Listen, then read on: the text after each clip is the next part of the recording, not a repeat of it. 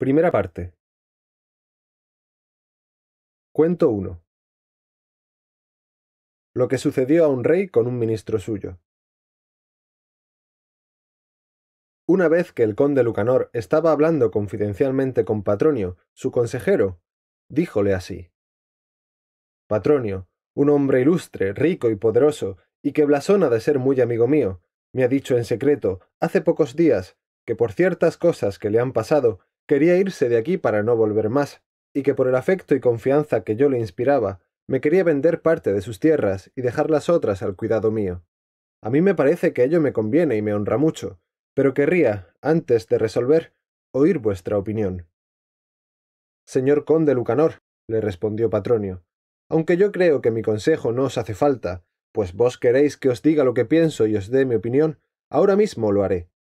En primer lugar, he de advertiros que esto os lo ha dicho ese que pensáis que es vuestro amigo, para probaros, y que es un caso muy parecido a lo que sucedió a un rey con un ministro.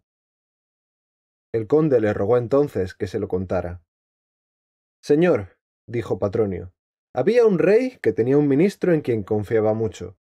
Como el envidiar la prosperidad de sus semejantes es muy natural en el hombre, los demás ministros envidiaban su privanza y adelantamiento, y no dejaban medio de indisponerle con el rey, su señor. Pero, aunque le dijeron al rey muchas cosas, nunca lograron perjudicarle ni que desconfiara de su lealtad.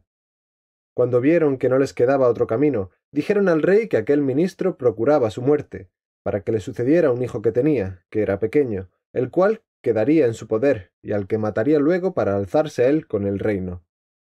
Aunque hasta entonces no había logrado que el rey sospechara de su ministro, desde que esto oyó, no pudo evitar que la duda entrara en su ánimo.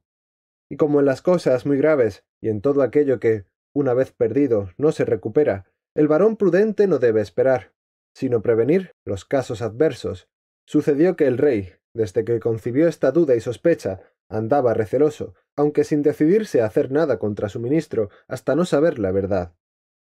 Los que buscaban la perdición del ministro le dijeron entonces que podía comprobar muy ingeniosamente lo que afirmaban, y le explicaron cómo había de hacerlo. El rey se decidió a ponerlo por obra, y, en efecto, lo hizo de la manera que ahora veréis. Estando con su ministro, a los pocos días, entre otras muchas cosas de que le habló, le dio a entender que estaba muy cansado del mundo y que le parecía que todo él era vanidad. Aquella vez no le dijo más. A los pocos días de esto, hablando de nuevo con el ministro, y como si iniciara entonces el tema, le volvió a decir que cada día le gustaba menos la vida que hacía y lo que podía ver a su alrededor. Esto se lo dijo tantas veces y en tantos tonos que el ministro se convenció de que el rey estaba desengañado de la gloria del mundo, de las riquezas y de los placeres. Cuando el rey comprendió que le había convencido de ello, le comunicó un día que había pensado abandonar el mundo, e irse a algún país donde nadie le conociera, a buscar un lugar solitario y apartado, en que poder hacer penitencia de sus pecados, con lo cual esperaba que Dios se apiadase de él y le diera su gracia para alcanzar por este camino la vida eterna. Cuando el ministro le oyó decir esto, le replicó con muchas razones que no debía hacerlo. Entre otras muchas cosas, le dijo que era contra el servicio de Dios dejar tantas gentes como había en su reino, a las que él mantenía en paz y justicia, pudiendo estar cierto de que, si se iba, habría desórdenes y guerras civiles, en las que Dios recibiría ofensa y el país mucho daño, y que, cuando no lo dejara de hacer por esto, debería pensar en la reina, su mujer, y en su hijo, que era tan pequeño, los cuales indudablemente estarían en peligro de perder los bienes y la vida. A esto replicó el rey, que antes de resolverse a partir, había él pensado cómo dejar en orden el reino para que su mujer y su hijo fuesen acatados y sus pueblos quedaran en calma, y que el medio era éste. Puesto que a él le había criado y hecho muy bien, y estaba satisfecho de su servicio y de su lealtad, y sabía que podía fiarse de él más que de ningún otro de sus ministros y consejeros, quería dejar a su mujer y a su hijo en sus manos, y entregarle todas las fortalezas y ciudades del reino, para que nadie pudiera hacer nada contra su hijo de manera que estaba seguro de que si volvía encontraría en orden todo lo que en su poder hubiera dejado, y si muriera también sabía que serviría lealmente a la reina y que, además de criar bien a su hijo, mantendría el reino en paz, hasta que éste pudiera gobernarlo. De este modo pensaba dejar en orden sus cosas. Cuando el ministro oyó decir al rey que quería dejar en su poder el reino y su hijo, aunque no lo dejó traslucir, se puso muy contento, pensando que si todo quedaba en sus manos podría disponer y mandar a su antojo.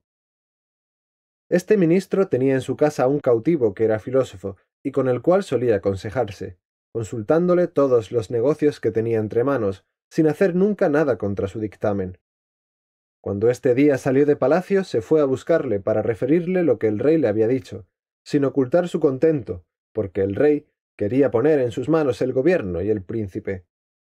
Al oír contar a su señor el sabio cautivo lo que había hablado con el rey, y ver que éste estaba persuadido de que su señor estaba dispuesto a quedarse con el niño y el reino, comprendió que había caído en un lazo, y empezó a reprenderle muy ásperamente, diciéndole que tenía en peligro su vida y hacienda,